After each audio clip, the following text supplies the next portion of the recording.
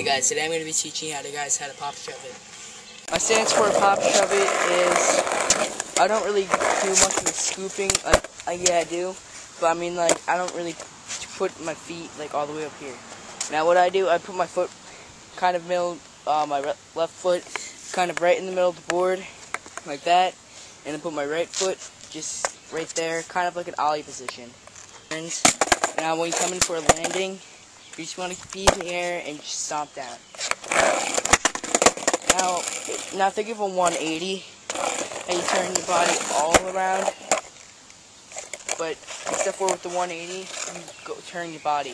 Now with the shove it, you don't turn your body, you just let it go. Do for pop shove it is basically on the ollie pop, the pop of the board, and the scoop of the board, twist it with the angle that it